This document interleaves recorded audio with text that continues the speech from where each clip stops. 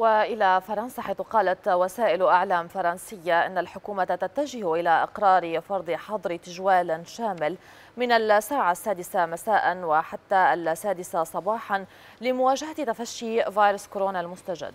ومن المقرر أن يعلن تلك الإجراءات رئيس الوزراء الفرنسي جان كاستكس اليوم الخميس خلال مؤتمر صحفي في إطار تشديد القيود لمكافحة تفشي فيروس كورونا المستجد لا سيما مع انتشار السلالة البريطانية التي تنتقل بوتيرة عالية.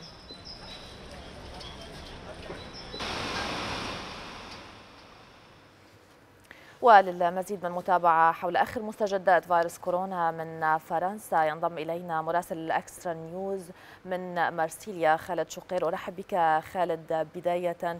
إذا آخر مستجدات فيروس كورونا لديك خاصة بأنه هناك اجتماعات اليوم للحكومة ومؤتمر صحفي منتظر لرئيس الوزراء الفرنسي على ما يبدو لفرض مزيد من الإجراءات لو تطلعنا عليها خالد لو سمحت. تحياتي ليلاس ليكي ولكل السادة المشاهدين. بعد قليل ليلاس سيلتقي جان كاستكس رئيس الوزراء الفرنسي ومعه ستة من وزرائه في مؤتمر صحفي ليتم الإعلان عن الإجراءات الفرنسية الجديدة لمتابعة يعني فيروس كورونا وما يسبب من مشاكل للحكومة الفرنسية. بالتأكيد يوم الأمس كان هناك لقاء عاصف لرئيس الوزراء الفرنسي جان كاستكس حاول من خلاله الرد على المعارضة الفرنسية والانتقادات التي قد نالته بسبب موضوع التطعيمات.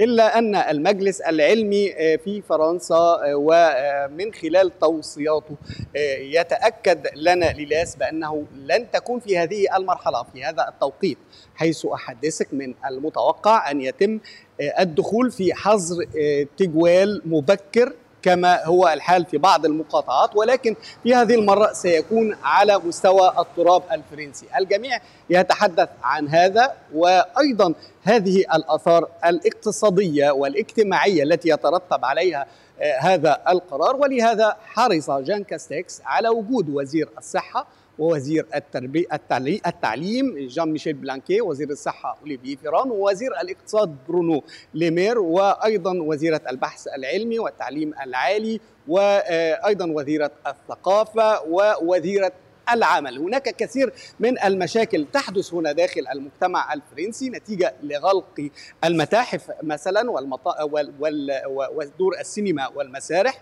وأيضا غلق المطاعم والفنادق وكثير من المشاكل في العمل. ولهذا أعتقد أن الحكومة الفرنسية اليوم ومن خلال جان كاستكس كما أكد هذا كل المحللين السياسيين في قناة BFM TV وغيرها من القنوات الفرنسية لطرح الاستراتيجية الجديدة التي من خلالها ستحاول الحكومة الفرنسية الحفاظ على هذه الأعداد الغير عالية فيما يخص فرنسا بالنسبة قبل الدخول في حظر التجوال. كان الأعداد متوسطها من 20 ل 30 ألف اليوم. متوسط الأعداد من 15 ألف ل 18 ألف فرنسي في آخر 24 ساعة.